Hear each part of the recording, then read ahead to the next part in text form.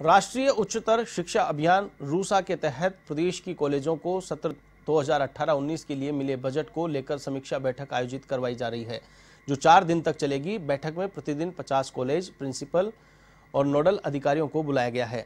बैठक में उच्च शिक्षा को बेहतर बनाने के लिए कॉलेज प्राचार्यों से विचार विमर्श किया जा रहा है।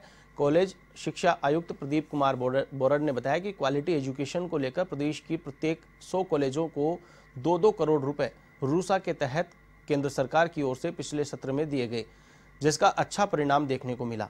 उसी को लेकर प्रदेश की सभी सरकारी कॉलेजों के प्राचार्यों से मिलकर कॉलेज के टाइम टेबल तय करने और एक जुलाई से कॉलेजों में कक्षाएँ शुरू करने के निर्देश दिए गए हैं। वहीं सरकारी कॉलेजों में प्रतियोगी परीक्षाओं की तैयारी के लिए सरकार की ओर से शुरू की गई प्रतियोगिता दक्षता कक्षाओं को सुचारू करने और नियमित करने के निर्देश दिए जा रहे हैं।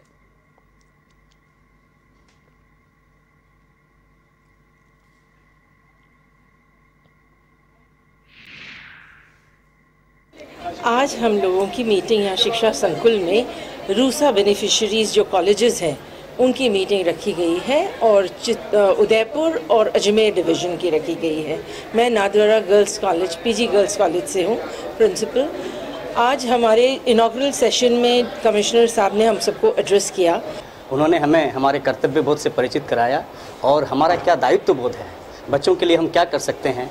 हमारा अपॉइंटमेंट क्यों हुआ है? इन सभी बातों पर चर्चा की और क्वालिटी एजुकेशन के बारे में उन्हें विस्तारपूर्वक हमें समझाया और लोगों तक संप्रेषित करने के लिए विद्यार्थी तक संप्रेषित करने के लिए हमें आह्वान किया।